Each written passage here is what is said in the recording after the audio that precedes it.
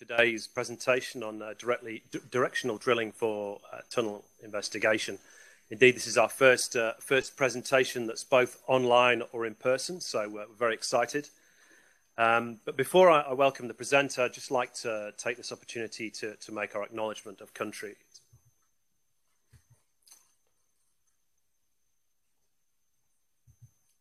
Sorry, let me just get the slides advancing. Oh, yeah, wasn't working. Okay, um, so Engineers Australia acknowledges the traditional custodians of the country throughout Australia um, and recognises their continuing connection to land, waters, and community.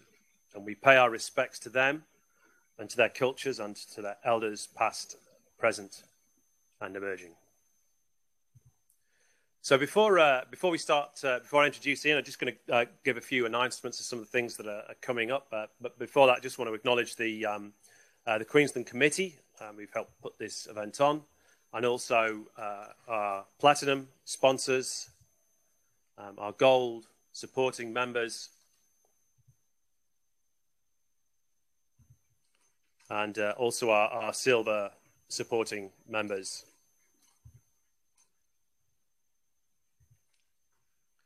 I'd also like to say on the on the 31st of March, um, we, have got a, a, our uh, young members um, event um, there's a couple of people giving giving presentations. Uh, they both promised to be very interesting.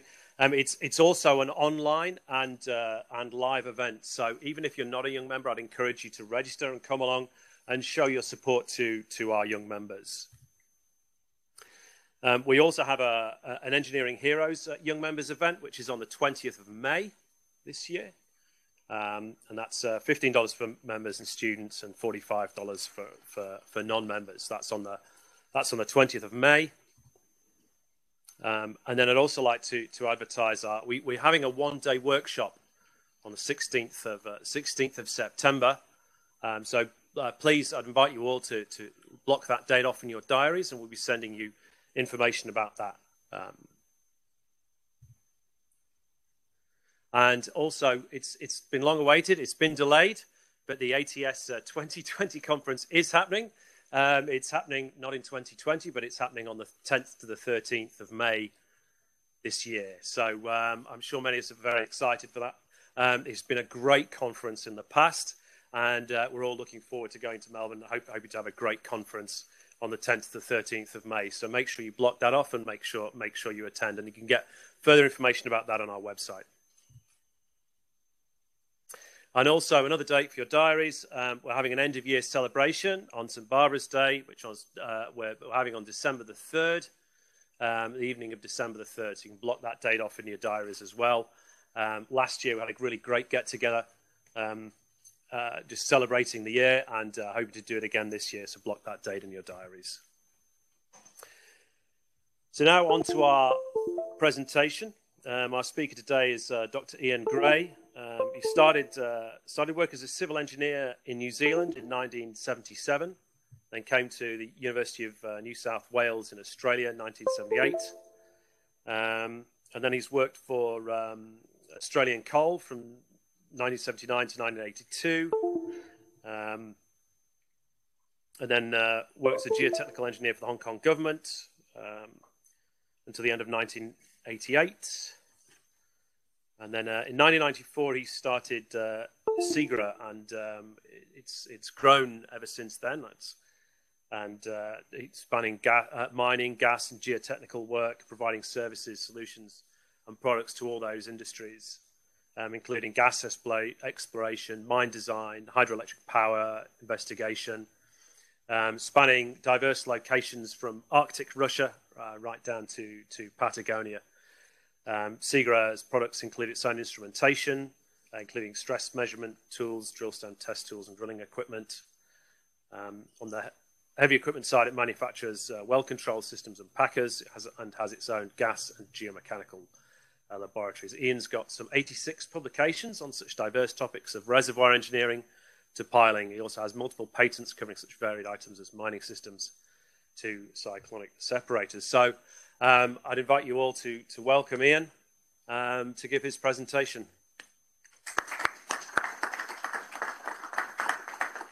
Thank you, Anthony. Sometimes I think I must sound a bit like Methuselah when you go through things like that. Um, no, to learn how to drive this thing, so I can't use the. Yes, I can use them. Good. Okay, directional drilling for tunnelling. Um, for many tunnels, you wouldn't dream of doing directional drilling. It would be the least effective thing you could possibly do. Um, but in some terms, it, it, would be exceedingly effective way to go about site investigation, or as we would probably call it, exploration. So if you want to, there's a big difference probably between the mining world and the um, civil world, in uh, that the civil tunnels tend to be decreed by somebody drawing a line on a plan. Please don't move. And so then you've got to make the tunnel fit the line. Whereas if you do a mine or you do a, uh, a gas investigation, you do your exploration and then decide where you want to put the mine and work out things around it. So sometimes it might be too difficult to deal with and sometimes it might not and you change your ways. These in the civil engineering you tend to have to make your um, engineering uh, or fit into the rock types. Um, in mining, you might make your engineering go around the ones you don't like for geotechnical or economic reasons of um, uh, ore bodies. Right, so if you're going to go do a tunnel, that, that's actually a very big difference.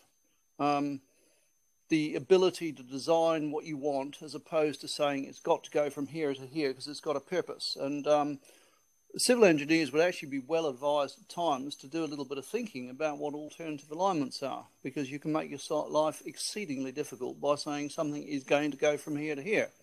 I had a discussion over a job a couple of years ago which got to be quite interesting in terms of you are mad to put it here because it is going to cost you a billion dollars. But never mind. So we need to look at rock types. We need to look at rock structure. That's the fabric, the joints, uh, everything that it might move on. We need to look at rock properties. How strong are they? We need to look at the stress in the rock. Is it going to break things? Importantly, we need to look at ground fluids. Why does that thing beep at me? we need to look at ground fluids. Now, I spent a little bit of time talking to people involved in the Turin to Lyon to Turin tunnel, and they really wanted to go 2017, the World Tunneling Congress.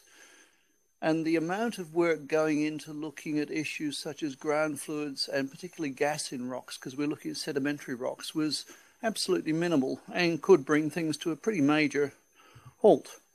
So let's look at what you might doing. So I've got a pinched a couple of pictures here because they're good pictures and I didn't have to draw them.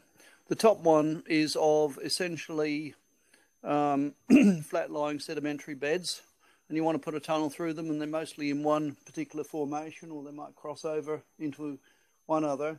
But you can probably access most of your geological variability by drilling principally perpendicularly to the uh, strata. Now you might still want to drill laterally or horizontally or tunnel alignment wise if you had faults or other structures that you wanted to pick up. However, if you had a complex structure such as that below, you might really want to drill it, particularly if it's hard access from the top. And even if you did drill from the top there, you may not be able to see what you're looking at because the drill hole won't go where you want it to. And yes, you could go over it and drill a lot of angled holes, but you may not have access, particularly if you're in mountainous areas. Uh, we must also take into account the civil, uh, the city side of things, where access is not always possible. Um, another way of looking at it. It's also possible to pick different lithologies. Uh, it may be possible to pick different lithologies by um, open hole drilling and branching. This is a picture of a coal mining thing where people drill. Drilling actually in the coal seam. See, I'm not allowed to pick the point there. I've got a point on here so that other people can see it. Um, this is meant to be a coal seam. This is a real case we're dealing with. And um, they've cored and they've popped up to pick up the roof and floor and they might be able to core that. Some way of doing it. Um, so these things are possible. So if we're going to drill an open, which I call a non-cored hole, we've got the options, and I'm going through options which I'm pretty well cover the range, and some of them you wouldn't dream of using. Um, deflecting bits to drill through soil, the same sort of thing as the people who put in services along roadways would use.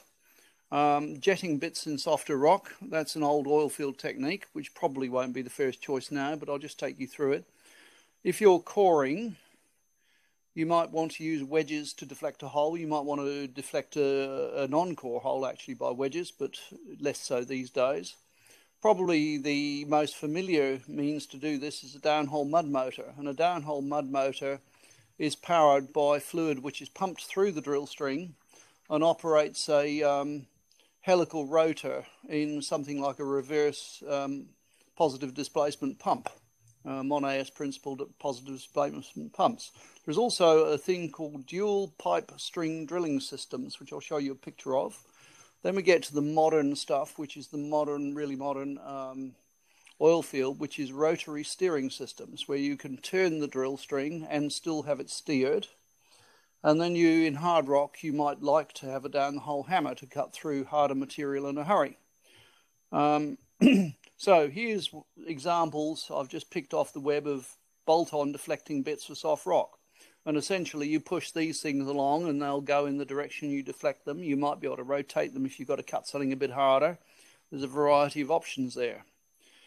If you want to set a wedge, and here I've shown a wedge that might be used in coring or a plug that might be. There's a thing called a Van Ruth plug here, which is over here, which would be pumped through a, a wireline core string.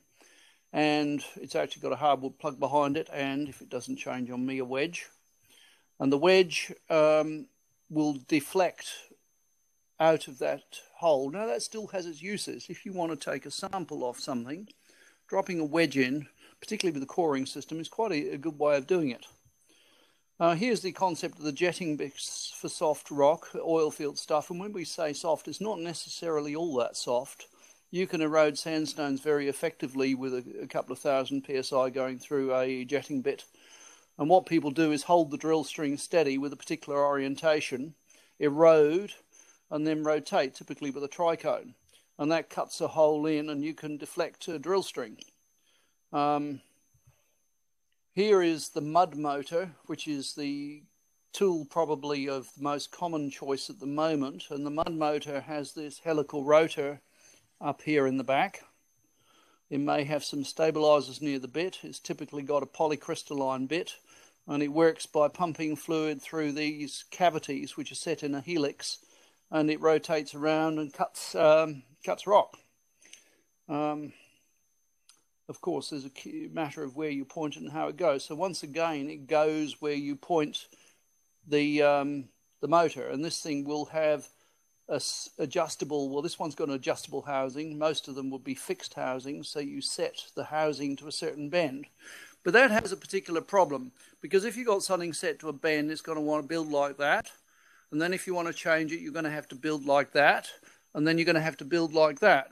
So you get multiple um, changes of direction and you don't quite know what your change of direction is as you drill because your survey system is somewhere way behind here because these there's a very few of these made of copper beryllium non-magnetic material with the majority of them made of steel so you have to set your magnetic survey systems some way back and so you're guessing where you are um, and you're drilling to that right if you look at the mud motor bottom hole, that's that system back here. You might call this thing here a bottom hole assembly. That would be the oil field term.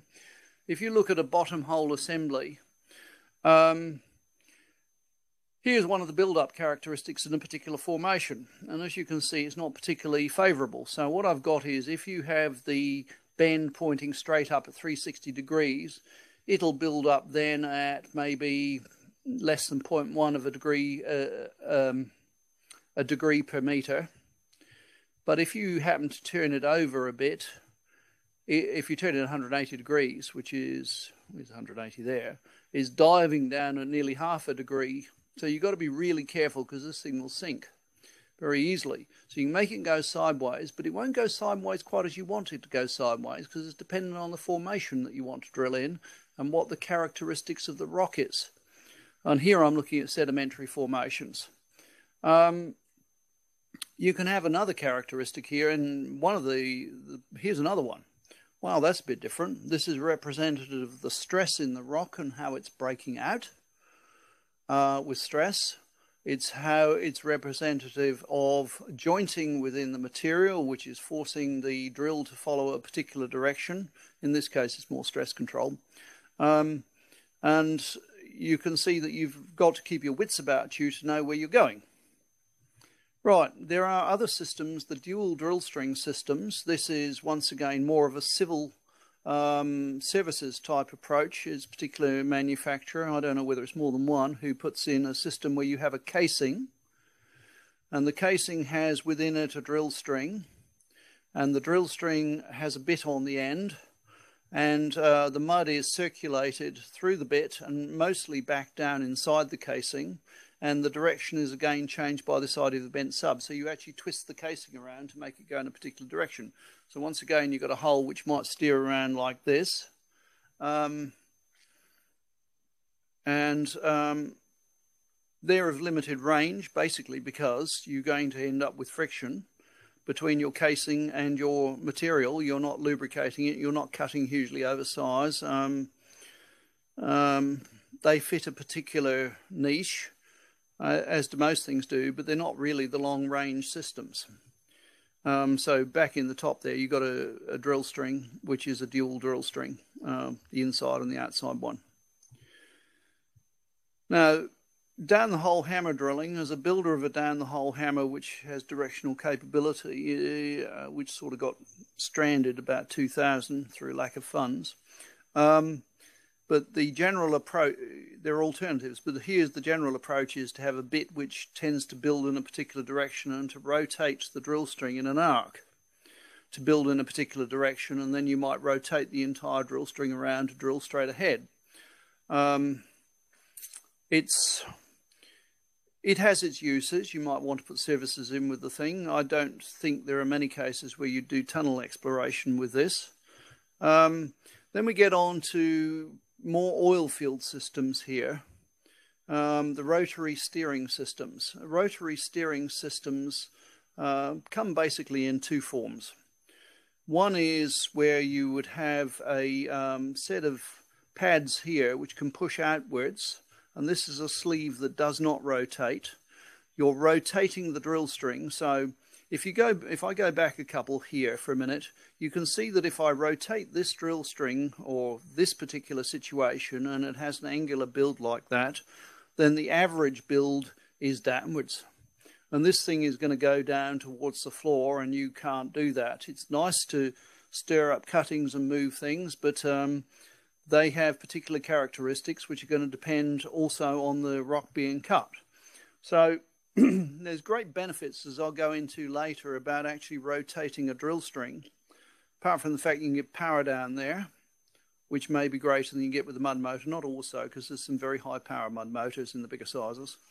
Um, you've got these pads, and these pads push this, and there's a stabilizer here, and they actually bend this unit and point the bit in a particular direction. So it points and does so. And because these pads are adjustable, you can drill straight a straight hole. If you want to, drilling a straight hole has great advantages. Now, in the full oil fill form, these things have down the hole smarts, which means they can self-steer and you can talk to them and say, steer in this direction, do what you're told, and it will tend to follow or try to follow what it's supposed to do. Um, they would come with possibly some geophysics in there to help them stay within the formation, which is the productive formation. Here's a different version. And here you've got a version, uh, again, with polycrystalline diamond cutter or poly um, PCD or PC, PDC, depending on which industry you're in. Uh, here's one where the pads pop in and out, and they pop in and out at a great rate of knots, depending on the the drill string. So they're turning and pushing this this bit from directly high in the bit. Um, we have built a slightly dumbed down version, but not particularly dumbed down, which is a point the bit system. And here is a, the sleeve which controls it, and it will push, and it will, there's your front stabilizer, and it will point the bit and directionally steer this uh, assembly. This is a small assembly, it's a 99mm version in this one, because it was built specifically towards the underground mining industry, though it has other uses. Um, so basically, what the idea of the rotary steering sleeve um, with controls, and it's designed to point. Now, the beauty of um, rotating the drill string, be it one of these or these, really comes in the hydraulics. And I'll get to talk about all the complications with hydraulics, but essentially you can build up with cuttings beds if you don't move them. And you can get caught in hole. So if we're going to go into rock drilling options, and I'm going to go more towards the rock because I don't think most tunnel investigations will want to use, um, if you've got soils, this probably isn't the way to go. You're going to be have a very limited range that you can deal with.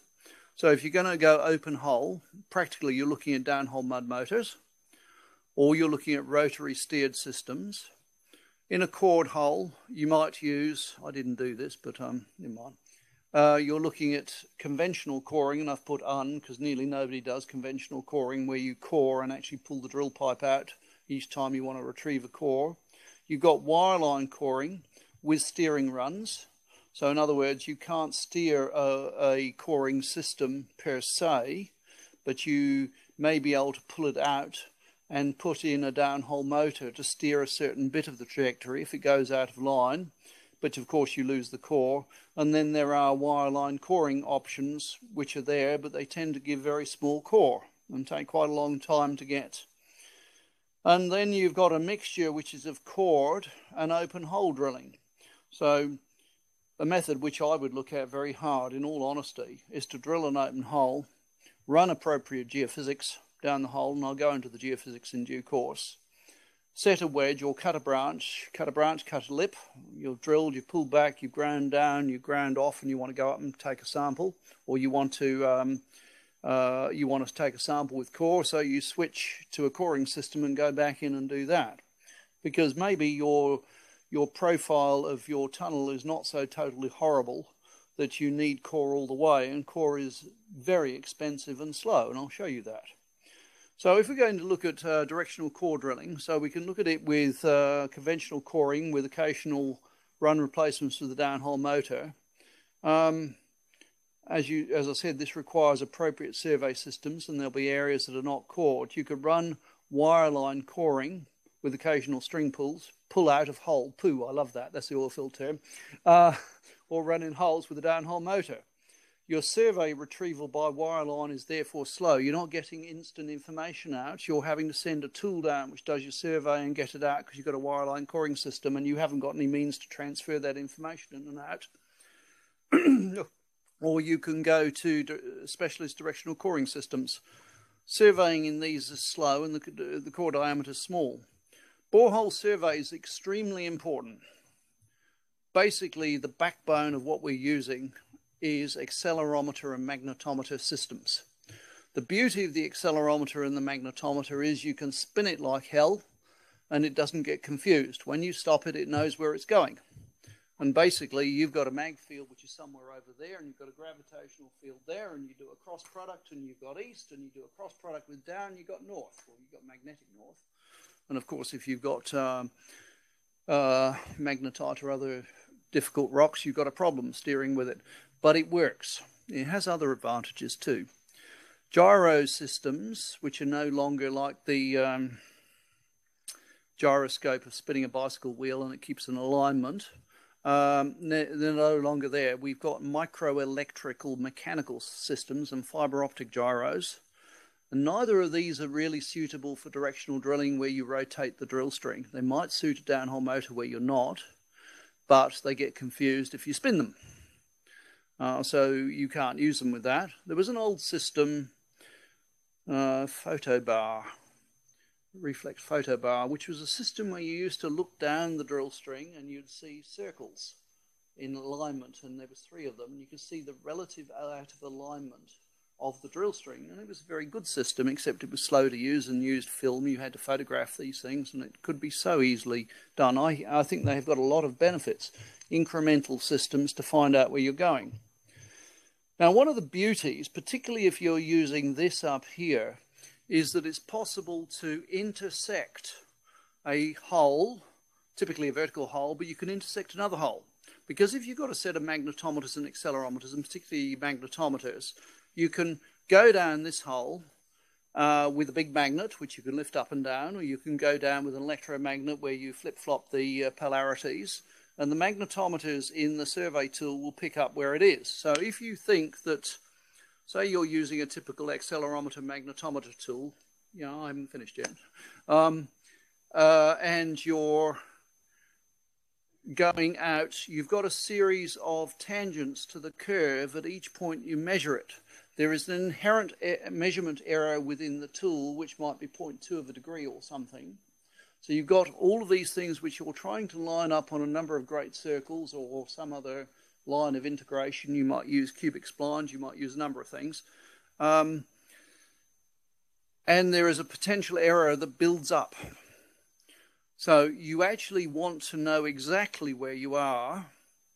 And if somebody drills a hole here, you can come past, and at this point, this can magnetically transfer to this tool, and with the changing field being measured in this tool, it is possible to work out what the relative distance is and pull something back online. So, say if you're out 1500 or 1800 meters or something, you might have a, a field which is as wide as this room, essentially. You don't know quite where it is, but you can pull it back online. Right. So here's a typical directional drilling control panel. And here you would... Oh, sorry. Thank you very much for telling me. Um, typical drilling control panel. And here you would have a, say you're drilling horizontally and you've got a tool what's built in this direction. You want to know what that tool face angle is. So there's a, this is a driller's um, thing. You might want, if you're going more this way, to look at a tool face angle if you were looking at it on a uh, plane downwards. You want to know what the tool azimuth is, and you want to know what the tool inclination is. Well, these things come out of things automatically. Why did it go there? Right. so, borehole geophysics is incre incredibly useful. Um, civil engineers, by and large, don't like geophysics and they don't trust it because they don't know it. But um, it's it's a way to go. It doesn't tell you anything, everything, but you build up a picture and you build up a picture of where you might have uncertainty and where you need more information. So resistivity, you're measuring the resistance of the rock and you're measuring current flow or you've got a constant current and you're measuring a voltage, you find out where the resistance is. Particular rocks have particular resistance. You have a, a density probe which will pick up what you're dealing with. It essentially measures the number of electrons in the rock. You've got natural gamma. There's an awful lot of rocks down there which um, produce uh, radioactive output, particularly some of the igneous stuff. Uh, you've got induced polarization. You're looking at capacitive effects on a uh, resistivity probe, essentially. You've got magnetically susceptible susceptibility probes, which will tell if, uh, typically used in ore bodies, to locate magnetically susceptible rocks. You've got a neutron log, which is hydrogen, oil, and water. So it, it's it measures hydrogen. So for oil and water, if that's what you got there, you're looking at porosity. So it's a porosity log of a form. Of course, if you're dealing with something like coal, which I tend to some of the time, it doesn't help you because there's an awful lot of hydrogen in coal. And there's a caliper it's spelt with two L's, um, where you're looking for hole diameter. Hole diameter can tell you an awful lot about what's going on. Um, yeah. Hmm. Sorry, doesn't want to go. Yes, it does. Borehole geophysics too. Now, another thing that's incredibly useful from a geotechnical point of view are the televiewers, which get pictures. If you've got a dry hole, which you never have, but you could uh, use an optical televiewer and you look at borehole breakout and other things. Acoustic televiewers work in wet holes uh, because they send out ultrasonic pulses and you measure the amplitude and you're measuring the time lapse of the signal. and you've got the sonic tools. Simple sonic tool sends a pulse out and it measures it down here. More complex tool will send out a pulse, which is a compressive pulse and a shear pulse, and you're measuring the time difference between the two of them and you've got so they're full waveform tools which give you idea of um, Young's modulus and Poisson's ratio. Of course, they're not uh, anisotropic, but something that is anisotropic in a particular way is a thing called an Alford rotating dipole. And that is you pulse in a direction and you pulse in another direction. You change the relative um, amplitudes, and it appears that this thing, mathematically, it appears that it's rotating. And you can find out the different speeds in different directions. And it's a very good stress indicator. So here's a whole pile of it's a demonstration log, and you haven't got a hope of looking at it, but I've got a caliper, uh, different rocks, the caliper, I've got density, I've got natural gamma, I've got a sonic velocity, I've got resistivity presented at cross plot, so there's something happening there, which is coal seam. Um, we've got P wave and S wave, compressive and shear wave, and they're written slowness, and you've got your dynamic Young's modulus, your dynamic Poisson's ratio, and if you're brave and possibly stupid, you might get a uniaxial compressive strength from it. Probably add up the stupid, actually. Here is an acoustic televiewer picture of a borehole, two boreholes. One is a in a siltstone, and you there you've got a very clear breakout. And what we're looking at there, if this thing wouldn't go, is this hole, which is like this, being crushed. And so you've got compressive failure on two sides. And this is a picture of unwrapping this thing and looking at it. And what it is is a direct measure, and if you're drilling in the, your tunnel alignment, it's a direct measure of whether you're going to get compressive failure on your tunnel walls because you created a mini tunnel. Um, here's one not quite as favourable, but still very clearly breakout, and that's in a meta siltstone, so that's been metamorphosed a bit. Um, So if we want to get sondes down directional holes, the oil field build a whole suite of things which sits in behind the tool and communicates backwards through the tool. While you're doing it, it tends to be pretty slow. Civil or mining, we tend to log after the hole is drilled and we run the string down and we drag the sondes backwards. And we need to keep the hole full of water or mud for the following sondes. Um, sonic resistivity, induced polarization, acoustic teleview. You've got to keep it full of fluid. If you can't keep it full of fluid, it doesn't work. So then you've got to build some system to make sure that that hole which you're drilling is always full of fluid. So you can't start drilling at a hillside and it drains out because it won't work. Um, so you've got to maintain pressure at the hole collar. This requires a fully cemented wellhead. I'll call it a wellhead, call it a standpipe. You've got to have a rotary seal if you're rotating. Pressure relief valve, which in the oilfield terminology is called a choke, which will let bits come through. And you need some pressure to keep the hole full. Pressure may also be needed to support the whole wall because drilling fluid pressure, particularly if you use a mud which puts a, um, a filter cake on the wall of the hole, will actually put pressure out to hold it out. Putting pressure out to put it out has other problems, though. You may um, uh, hydrofrack the hole. I'll come into that. So drilling sensing for rock type, it's also possible to drill with a uh, torque and thrust measurement. And this is typically done at a drill rig to determine things that's going on. But um, you can. we've also built an at the bit sensor where you're measuring torque and thrust right behind the drill bit. And you need some signal processing down hole because there's an awful lot of information that gets there as a bit judders through the rock. Um, picking peaks and picking averages and doing things, but it's quite possible to pick the different kinds of rock material that you're drilling through. Very importantly, you've got to communicate with whatever's down the hole. So you might pump down a, a memory tool. This is a, either a memory survey tool or a memory geophysical probe. Um, it's all right if it's geophysics. It probably doesn't matter if it's got enough room to store what's needed. You just pull it back and it records on board. You can't do that with all things because you've got to have some interaction between the operator and the um, and the tool down the hole. So it only works with some tools.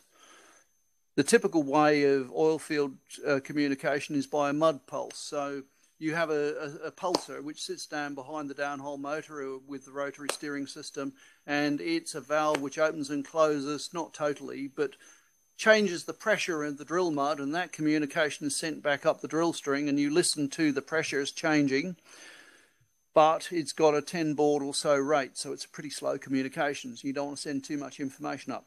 There are electromagnetic systems which basically transmit sideways up the rock but you've got to have the right kind of rock, otherwise it doesn't work.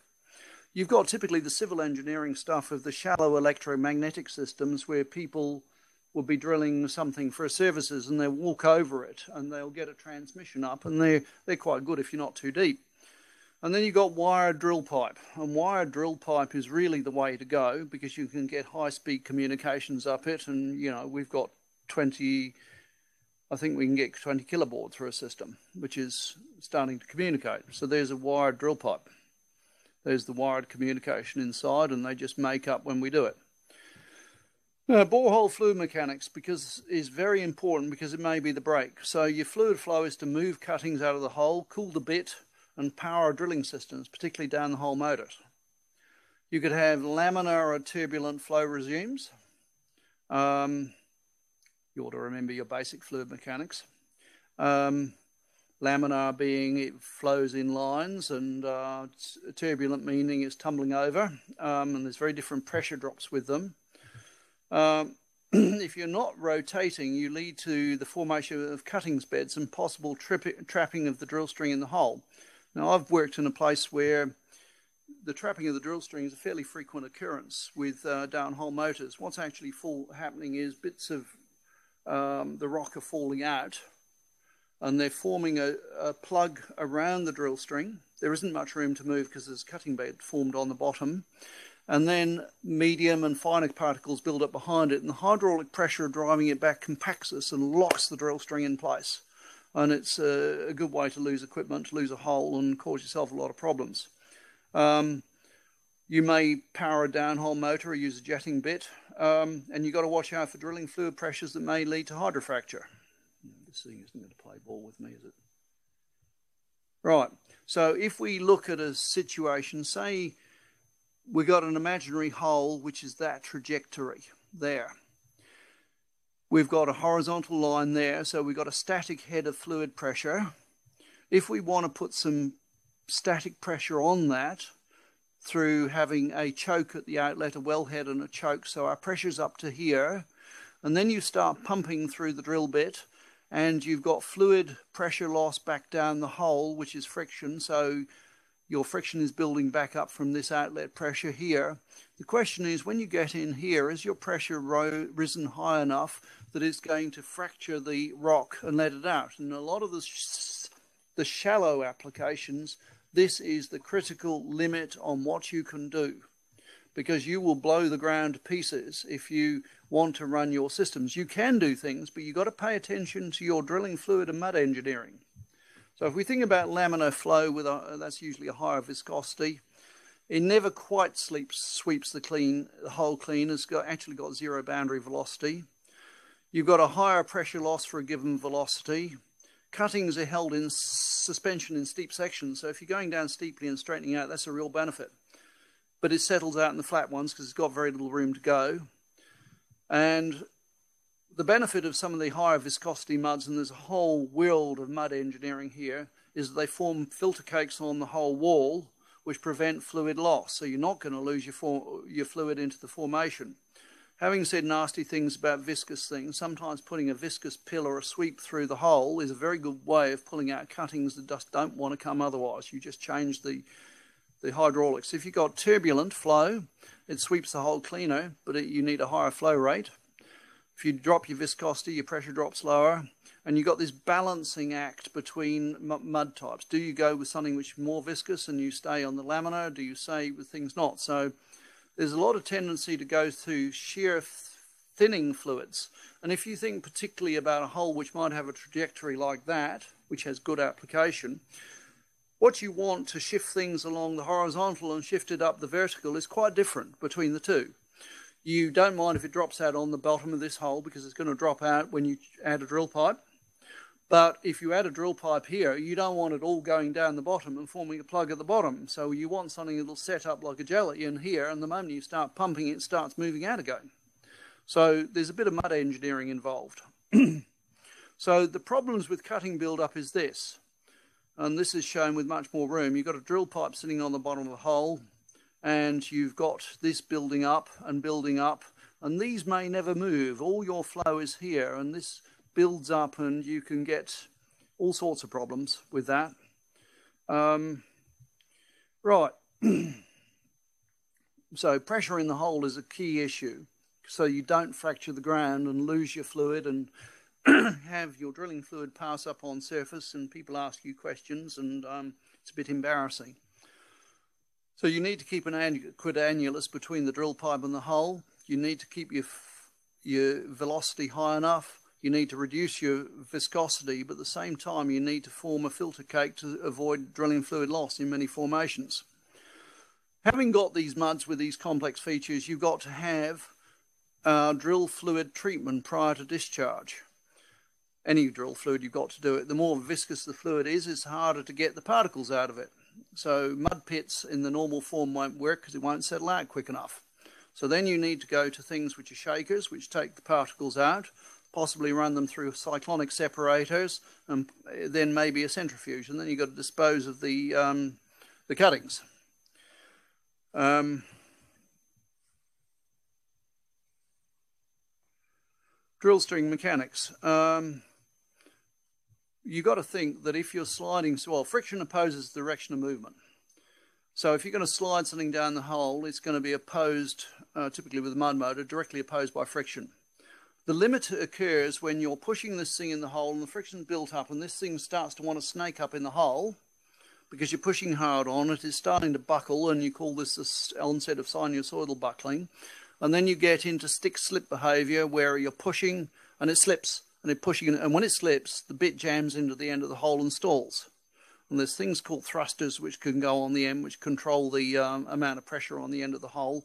But when you take it beyond this to and push really hard you build a helix and you'll get a lockup in hole.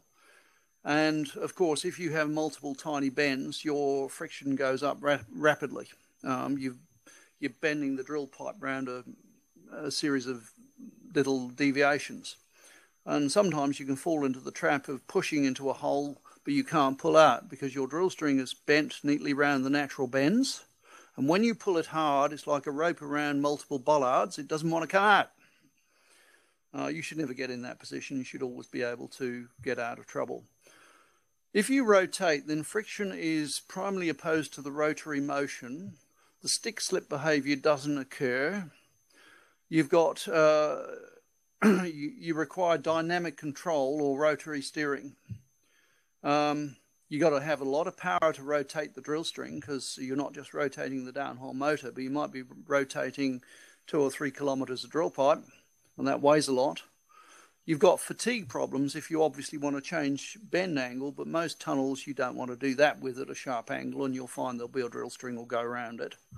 Um, you want to limit your angular build rate so you're not doing things in too much of a hurry.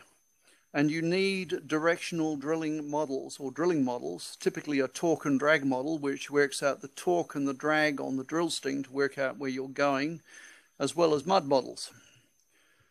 So I've done a comparison here, and it's a relative, I can't possibly, in the time of this presentation, give you um, every scenario. And of course, if you go drilling anywhere in the ground, the same as you go tunneling, uh, horror scenarios exist. You hit things that you don't expect, you lose your fluid, you've got uh, bits fall in maybe.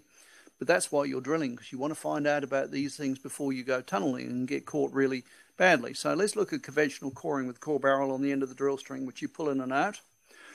I've looked at an HQU, which is a pump-in uh, wireline coring system with a 61 millimeter core. I've looked at it with a 96 millimeter hole, which is the standard. I've looked at that with a bigger annulus to give us more room for fluid flow, which is important. I've looked at rotary steering with full oil field costs, and I think there's cheaper options there. Um, with one bit change at a kilometre. So with the HQ ones, we're pulling in and out every 100 metres and doing a correction. That costs you time. I've added in geophysical logging in each case, and I've allowed for a 20-hour operation for 24-hour period, which gives you something realistic because there's always delays, there's always servicing that requires of uh, equipment. So let's look at the timing that's required. So conventional coring, we're going to get to 500 meters. You might be out to 45 days, and it's really going ridiculously. If you go to conventional HQ, you might be able to push that out to, you know, something like the 12, 1500 meters in two or three months. To go push it up to 2000 meters just is not practical. And the same would apply. Uh, it's much better if you have some improved annulus. Part of the reason is you've got to pump that um, inner tube into the core barrel and you've got to pull it back. And there's a physical limit to, to the speed which you can pump it in because you've got to displace all that fluid around and back down the hole, which is why the bigger annulus works. And there's a limit to how fast you can pull it back. You can swab the hole and drop the pressure at the end of the hole and cause the hole to come in and cause yourself all sorts of nightmares if you pull too fast. Right, here I then compare that. So this is allowing us to do some, um, we've got logging there too. And here I've got a situation where we're, no, we're not logging because we've got core. So there's no logging in the hole with the HQ situation. Then I've just drilled a rotary steered hole. So we get out to two kilometers in this situation, this type of rock in oh, under 20 days and possibly far, or sorry, um, under 10 days and maybe far less than that. You know, there's oil field applications where they've drilled a kilometre a day. Quite they're favourable conditions in limestones which don't fall a bit and don't have vast cavities, so we're looking in best cases. But if you want to log it, it takes you a bit longer and you would want to log it.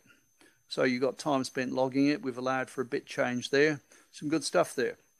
Now, if you want to look at the costs, the costs are starting to very heavily fall in favour of rotary steering, which is expensive, 40,000 a day or something, um, at about the kilometre range. Um, you, as I said, you can go downhole motor, you can go uh, um, some lower cost rotary steering things here, but it's starting to pay its way extremely well. Um, I didn't put the red dot there, somebody else did.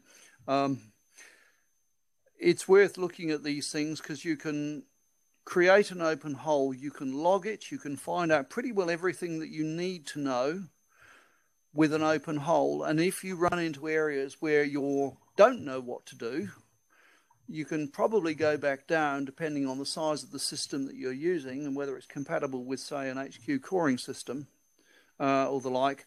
Go back down, cut a lip, cut a core, and get whatever you need if you've actually got to look at it. But you can basically, if you've got miles and miles and miles of sedimentary rock or volcanic rock, volcanic rock's a bit hard for this PCDs, depends on the situation. You might end up with a tricone bit or something and it goes slower. Um, you know, it's really a horses for courses and you've got to design these things. But you could potentially have a fully logged uh, hole done over two kilometres for maybe I've said here 700,000, maybe 800,000 if everything was set up right. There'll be people will disagree with that, but it depends very much on the conditions. Depends on what drill rigs are available to drive this stuff because these are not common rigs. so we're what are the limits? We're primarily limited by drilling hydraulics. Is it possible to clear the cuttings without hydrofracturing the ground? Deeper holes are easier from a hydraulic point of view as the stress in them keeps the hole together and prevents it. Deep holes work because gravity pulls the hole down. Probably with a tunnel, you don't want to keep on going down to the centre of the earth. Um, and of course, what are you drilling? And you don't want to have anything to do with soil. And worse still, you never want to drill mixed ground, which is soil and rock, because uh, the systems, it's a bit like tunnelling, having to deal with mixed ground. It makes life very, very difficult. And uh, you don't want to go there. You'll end up having to case it off and change sizes, and you end up with an oil rig there, and it becomes totally impractical. So here I've drawn a, a picture which might be a mountain tunnel crossing, which is quite realistic. And here I've got, say, I just drew it by hand the other night. Um, something, say, eight kilometres tunnel, which is not unreasonable. And we want to, we might be able to get it with a drill from that end and a drill from that end. And we can steer into a target, though we might be too far off the target to ever bring them into the same point, because by the time you're out uh, four kilometres, your range of uncertainty is too great and you won't be able to pick up the transmission from one tool to another tool. However, if you were to drill this one in from here and drill another one in from here, only because I'm concerned of the shallow depths here, you can't drill very far before your pressures cause you to frack the ground and pull it to a halt, but you can drill from here and you take this on here, you can steer it into a target which is a vertical hole and you can keep on going through that target and then you can drill and you can drill onto this one and drill onto the next target. You can set up to do both ends of this and you can do it and you could potentially have an eight and a half kilometre tunnel crossing under a two kilometre mountain done quite efficiently. Now, what do you need to do to find that? Your measurements. Rock type is geophysics or core, rock stress, overcoring or hydrofracture. Uh, you want to find out your fluids types, um, pressure, type, pressure, permeability. Don't always say it's water because it's not. Particularly consider your gases. Um, I found the failure to take account of gases in sedimentary rocks can be pretty appalling. So we measure stress by overcoring. We can do it by hydrofracture. Um, actually doing hydrofracture in a tunnel which might be for a power station is a direct test of how it's going to behave when it's filled with high pressure water. You might hydrojack joints by putting packers across them and finding the pressure to open them out. And you might want to look at borehole breakout. Um, it's not a precise measurement, but it, it's useful because it tells you what's actually going to happen in the alignment of the tunnel. Don't do that to me. So here's a picture of one of our overcore tools in a um, bit of core. These are the pins that measure diameter. We've set that in a vertical hole in this case and overcored it and what we see is an overcore deformation plot of each of the pins and if we measure the modulus of the rock and there's more to that than you may think um, there's a fit of pins which are the blue axes and what the actual theor that theoretical best fit uh, deformation curve is and you can work out stresses from that. Rock stress, is a whole number of out-of-hole measurements. Um, post-elastic core recovery, Kaiser effect, deformation rate analysis, they're all less precise. The one that we're running at the moment is core ovality. Here's core ovality. We pull core, we sit it on a tool, we rotate the core, we can measure the diameter to a micron.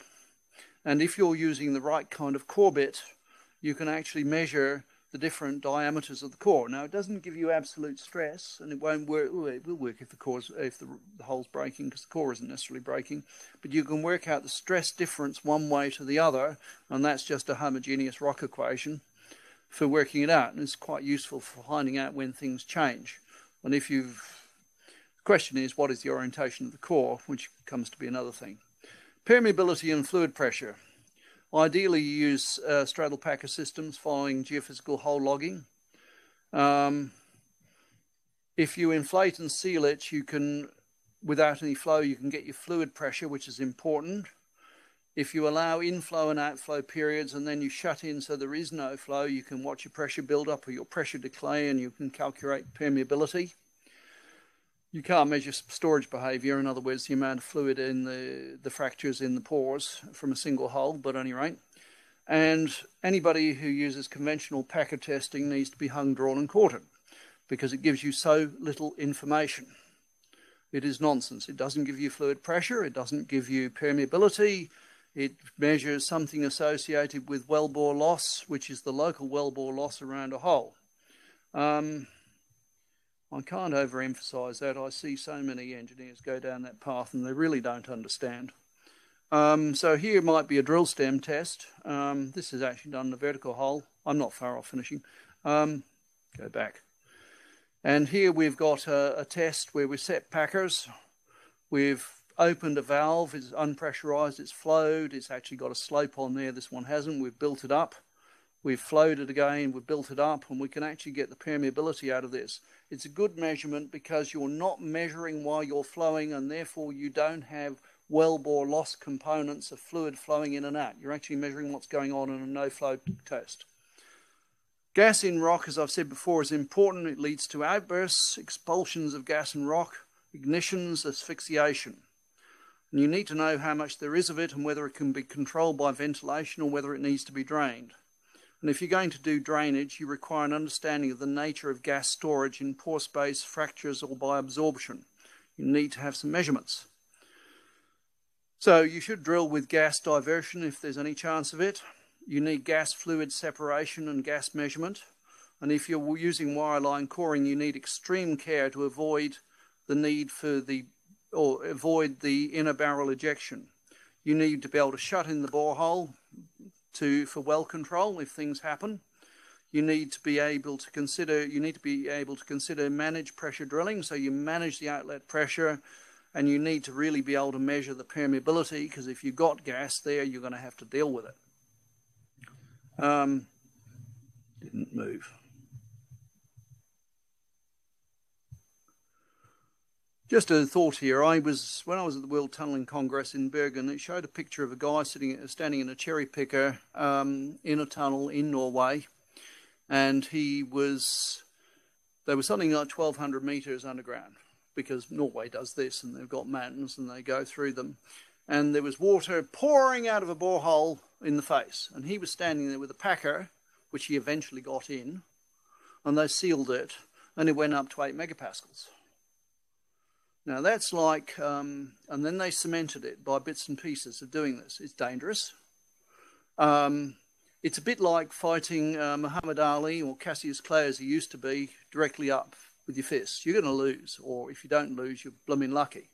So one of the things really to do here is to look at drilling exploration holes which are ahead, and instead of doing little bits of grouting, you use high pressure uh, frac pumps to drive cement grout and they will go in and they will displace anything and seal it. So, you know, you're looking at splitting the ground and filling every void. It's something to consider. So, conclusions.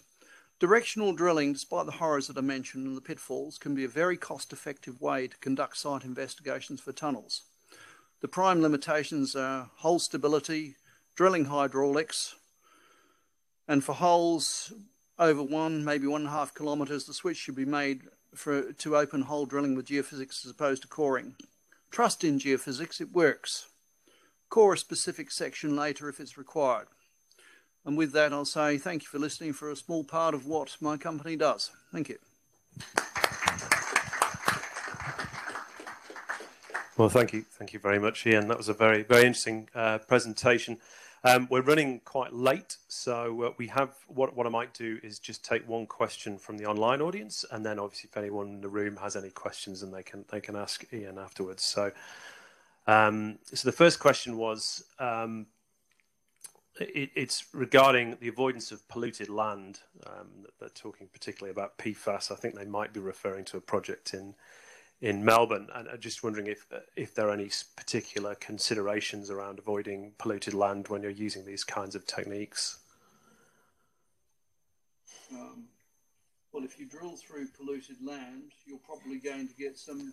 You're probably going to get some of the pollutant out. So it's a matter of how you handle your drill, um, drilling fluid principally, and what you do with the material you separate out from your drilling fluid in due course. Um, You'd also think about, obviously, PPE, the people, who, the drillers, um, what they're using. Yes, problems.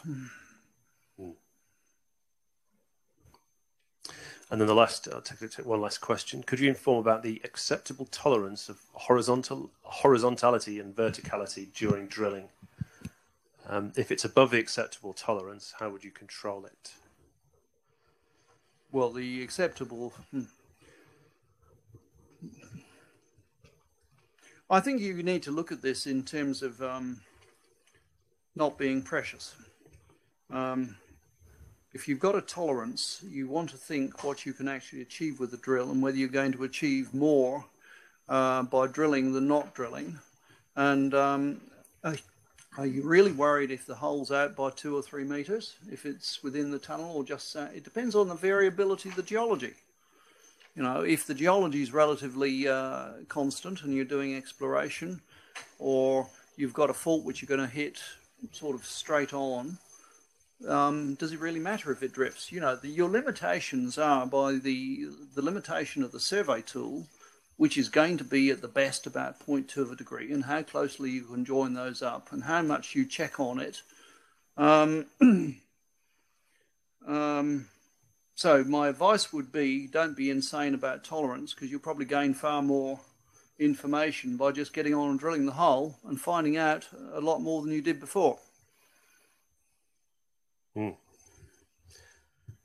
Okay. Got one here. Um, I might just just to let the people get online. Might just uh, wrap up now for the people uh, online. So um, thank you, and that was a real tour de force. You've gone across um, the, the, full gamut of uh, of equipment, of uh, problems that we might face, and and uh, it's uh, it's been a real education for me, and I'm sure everyone else has got um, a lot out of it. Um, I'd, I'd, like to like to invite everyone to thank thank thank everyone in usual. Before I do that, just a quick plug um, again for the young members uh, on the 31st of March. And also, please check out the Australian uh, Tunnelling Conference in May as well. But uh, thank you very much, Ian.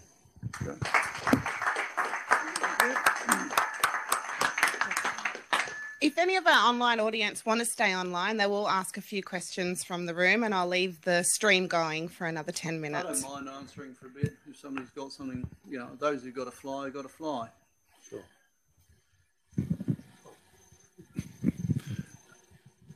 Uh, Ian, um, you mentioned uh, hydrofracture a couple of times there in the presentation.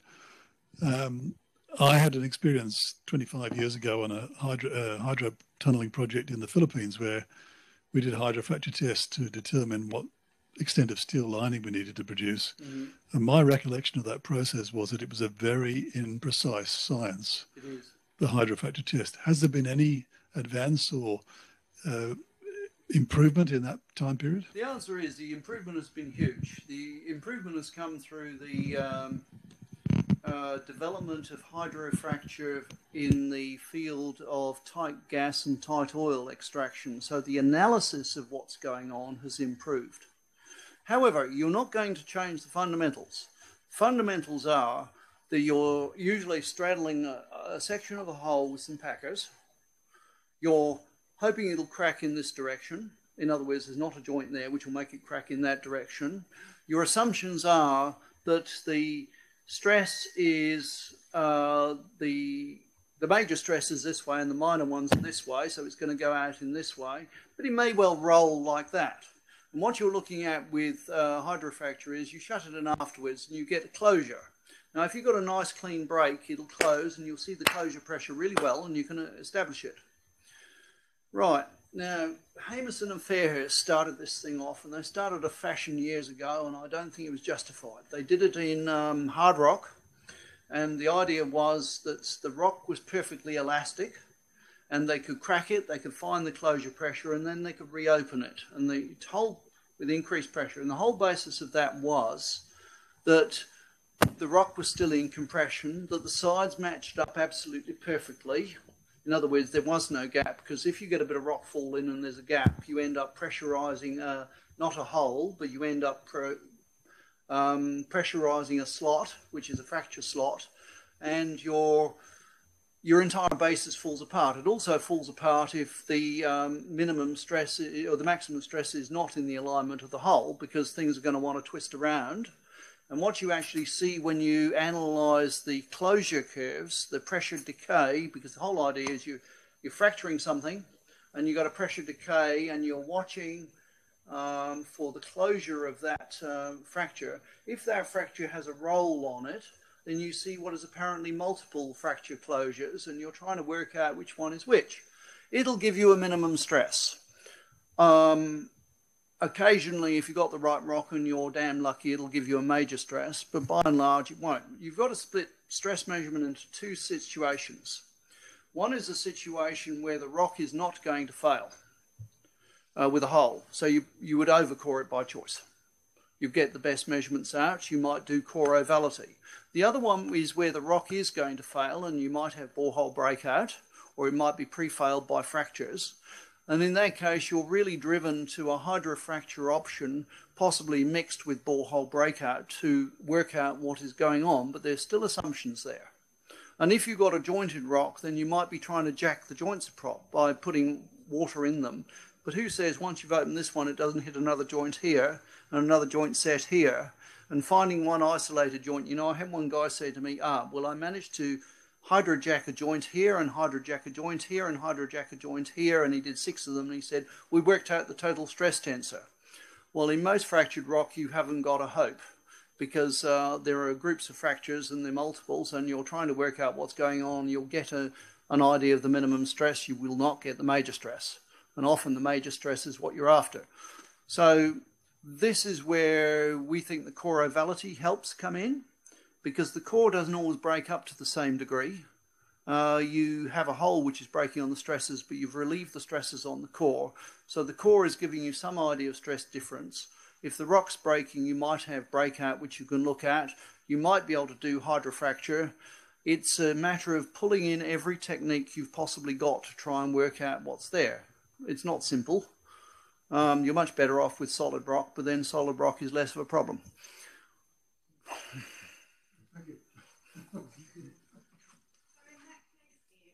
One second. Sorry, Diane. Sorry, Can't hear. Sorry, Diane. Just for our online Sorry. So, fo- just hold it down. So, following on from there, um, if you've got like a highly laminated, horizontally laminated rock mass, how does that has, does that have a effect or an impact? Like, how does that The usual Result. way in which we would, well, it depends whether the rock's failing when you drill it or not. Um, if it doesn't fail, you go through and you overcore it. If it does fail, you look at borehole breakout and you maybe do some hydrofracturing and um, work out what is your best estimate. Well, what you would typically find is, if you look at these things in general, what matters is the strain to which the rock mass is subject. So if you've got a stiff rock, and particularly we find this because an awful lot of sedimentary rock in Australia that we deal with, you have layers of sedimentary strata, some of which is stiff and some of which is not stiff, and some of it is um, downright uh, soft and non-linear, and an awful lot of it's non-linear, and quite a lot of it's quite anisotropic too. You, t- you might end up typically with um, uh, ratios of stiffness of two, two or three to one. It's not uncommon. Um, but what you find is that the unless you're in complex conditions with faults and other things, that you find you can set the rock into groups, the different laminations that have apparently had a strain put on them. Now, we call that tectonic strain, and um, that's a big name, and it doesn't necessarily mean it comes from tectonic uh, movements. It might come from folding, it might be influenced by um, erosion, you know, an erosion surface, which is a disconformity, you would have completely different strain characteristics below than above because they're completely different sedimentary events. And um, so when that gets squeezed, um, it has uh, stresses which are different depending on the stiffness of the strata and the Poisson's ratios and whatnot. And we find that generally, in the simpler cases, uh, this concept of tectonic strain, which is the amount of squeeze. So you've got uh, vertical loading, you've got Poisson's ratio. If you work on an elastic basis, you can say, well, my stress should be this. This is the nu upon 1 minus nu times the vertical stress, which is the classic formula used. But if you have something which has been squeezed or unsqueezed, it will change the stress pretty significantly and then you find, um, and you can put them into groups and say, well, my tectonic strain, which is the amount of squeeze or unsqueeze in terms of strain that's required, um, that's what's required, or that's what's happened to it, and we can use this as our basis for design in between. Because at the end of the day, you can't measure stress everywhere. You've got to measure it, and you've got to work out a, a stress model, and the model is never nu upon 1 minus nu times the vertical stress. Um, it is always something else. And of course, if you have a fault there, particularly a normal fault, you'll find it's totally de-stressed across it. If you've got reverse faults, you can find some interesting surprises because near the fault tips, or for that matter, strike um, strike slip faults, you find near the fault tip edge, you know, you've your stress is you, your stress has been relieved by the movement of the fault, but at the end of the fault, unless that fault has progressed right through the surface or something, that movement is taken up by high tip stresses, which are, are there. And you can find things that are very significantly different, and they might lead to rock bursting or all sorts of nasty things. Depends on the rock type. So Yeah. there's your answer as best I can give it. No, that's good. Thanks.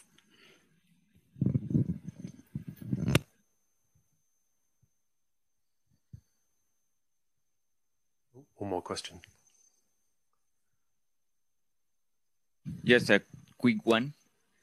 I am interested in knowing how, what, what tools do you have for dealing when you are drilling like one kilometer far away and you go through a faulty zone to do not lose the, the whole rig in there or an expansive soil?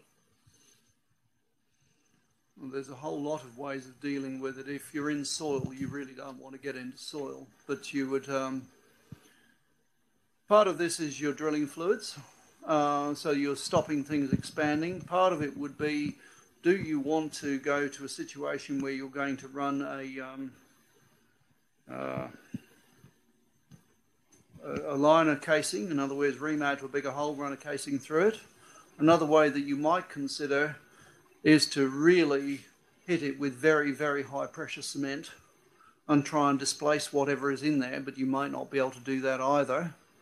Um, let's be honest, I drew that last picture, the one underneath the mountain, with a possible number of holes, because there are a lot of drill holes, directional holes, which have been terminated because you simply cannot get through fault material. It continues to erode. You cannot stabilise it. You can't do anything. Um, but you get cleverer as you get older and you get experienced and you learn how to do things. Um, you might jet it out.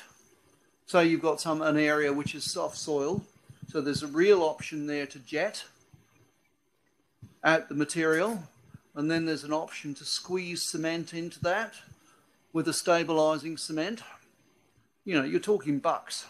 Um, because by the time you do these down uh, two or three kilometers, this the tripping in and out to do this, these things cost money.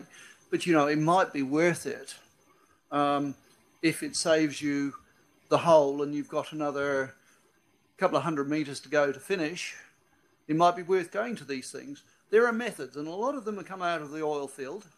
Um, the the question, what we've dealt with is how do you take these oil field techniques where we've taken them across into mining and they've come across into mining, and then how do you take them across into civil? Um, probably the hardest there is getting the appreciation of the power of geophysics. Um, civil engineers like to look at, and geotechnical engineers like to look at bits of core. Um, and a lot of, so do I. Um, you know, I've got a degree in geology as well as two in engineering. So, um, but um, sometimes you're much better off financially to go the geophysical route. You've got many more options available to you. Thank you. Okay, well, I think we'll uh, wind it up there. So, um, have we still got drinks at the back? I think we can mingle here, and then and then for anyone who wants to go, we'll, we'll go on to the uh, we'll go on to the pub. So, um, just invite everyone to to thank Ian once again, and we'll wrap up. Is that a recording? That's Natalie Gift on Oh, thank behalf of ATS.